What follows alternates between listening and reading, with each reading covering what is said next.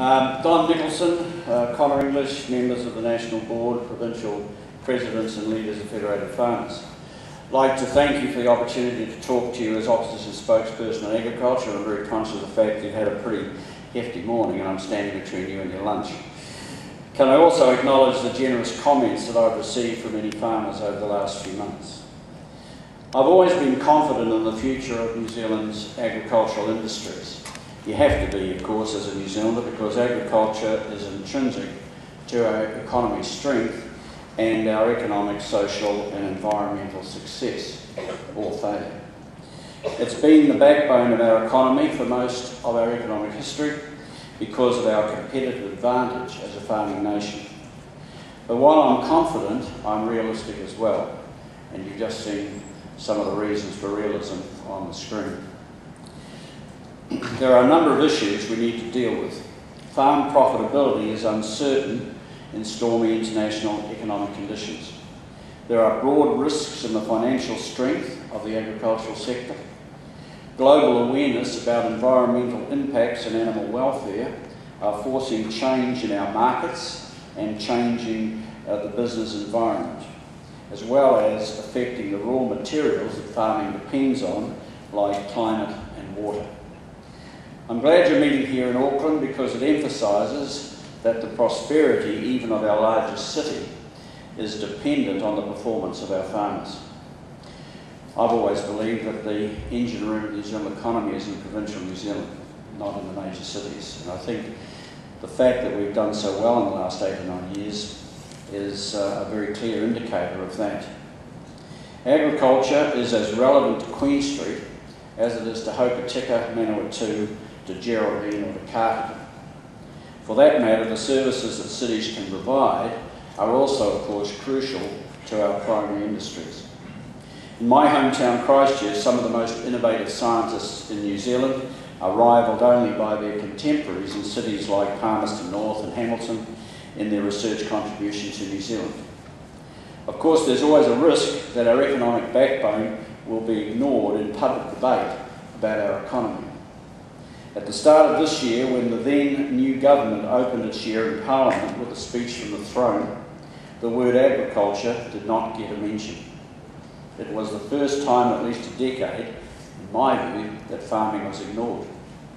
There is not much chance of developing the right policies for the agricultural sector when farming isn't even on the radar screen of a speech from the throne. The policy environment in Wellington today, like every capital around the world right now, is occupied with the difficult global economic environment. Many developed countries are in recession. Some of them are in deep recession. We can take some comfort that demand for food holds up better in a recession than demand for cars from General Motors or Chrysler. But we can't be too comfortable.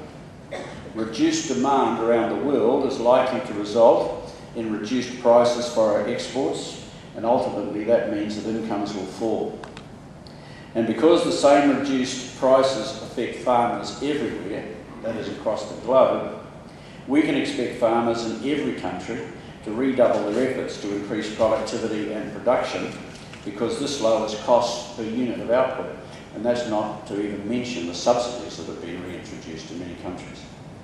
And since every farmer around the world is in the same situation, total production will increase with prices falling and demand increasing only very slowly.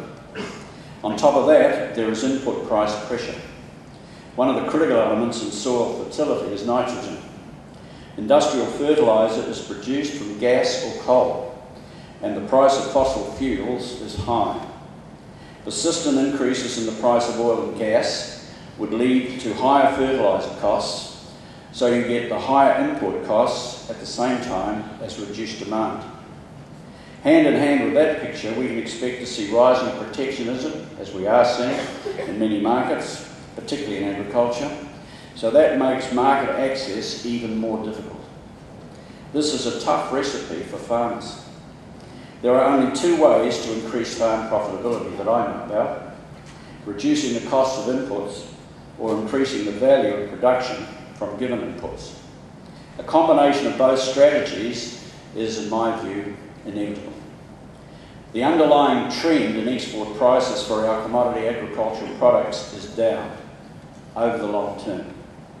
With some medium term exceptions, such as China's expansion and climate events, prices for agricultural exports have been under long term downward pressure. The strong expansion of China in recent years has helped to push up the prices of many raw materials, including some that farmers compete for, such as energy while also increasing the price for agricultural products. But relying on that to continue forever is not a prudent long-term strategy for farming or for New Zealand. At the same time that we are confronting the difficult environment for farm prices, agricultural finance is under stress as well. You have to be optimistic to be a banker, don't you? Just heard that stuff. This is what I would call a perfect storm. Input price rises, threats to demand, and financial risk. I've been looking at New Zealand's accounts with the rest of the world. You've seen some of them on the graphs you just had presented. When you look at our merchandise trade, our exports against our imports, the deficit is large but manageable. But we face a massive deficit in one crucial area. The slide was flicked flicked across the screen, but just started to work out how long it takes to repay that. We have been using the savings of people in other countries instead of our own earnings or our own savings to pay for our lifestyle. And the bill for that is starting to come in. How much do you think New Zealanders send overseas each year to the owners of our large commercial banks? In the 90s, we sent overseas about $3 billion a year in profit and interest on loans extended to New Zealand banks. For the first half of this decade, it was stable at, around $4 billion a year. So it went from 3 to 4 billion. But something dramatic has happened. And the truth is, I don't know exactly what the answer is. And I'm trying to find out. And a lot of people I'm asking don't know what the answer is either, which is rather strange the banking system has begun repatriating enormous amounts of New Zealand money. Last year, calendar year 2008, the banks repatriated not $3 billion overseas, not $4 billion overseas, but $11.7 billion in profit and interest paid on loans. That is, the New Zealand branches paid their overseas owners 11.7 billion in interest and profit. I should best be reminded that eight or nine years ago it was 3 billion. It's risen to 11.7. Something extraordinary is going on here. The total has risen from 3.8 billion in 2000 to 11.7 billion last year. That's more than the entire GST revenue of New Zealand. It's more than the entire education budget. Wright is talking about that. And in a single year is far more than the entire proceeds of the asset sales program that caused so much pain through the 80s and 90s, which was meant to end all of this. Behind this enormous repatriation of New Zealand's money is a serious balance of payments deficit. It now stands at $16,000 million, the current account for last year, about 9% of GDP. That's money that we borrowed and we have to pay back in one year.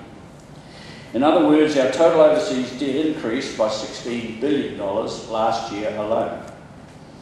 Debt like this is easy to run up, but it's damn hard to pay back. And that chart showing the trend of, of international investment shows how hard it is. It poses a risk for agriculture specifically. Total bank lending to agriculture in April this year was $43.7 billion or 13.8% of the total amount of money lent in New Zealand. Two thirds of that is lending to the dairy industry, at a time when one estimate says Fonterra could be forced to cut its payment from the current $4.55 if our dollar stays at over 60 US cents. This would be very hard on some farming businesses that thought the last couple of years of high prices would last longer than they have. Relief from interest rates would help, of course, as Federated Farmers Lachlan McKenzie pointed out yesterday, every cent drop or every 1% drop in interest you pay on the debt you currently